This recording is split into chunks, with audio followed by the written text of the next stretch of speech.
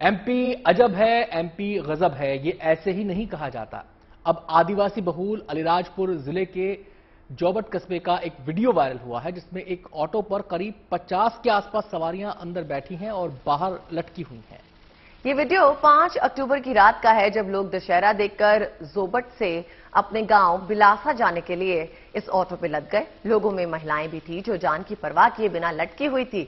Video viral होने के बाद हरकत में आई पुलिस ने इस ऑटो को जब्त कर लिया है। लेकिन पुलिस का कहना है कि ग्रामीण क्षेत्रों में परिवहन का कोई ठोस इंतज़ाम ना होने से ऐसी तस्वीरें बनती हैं।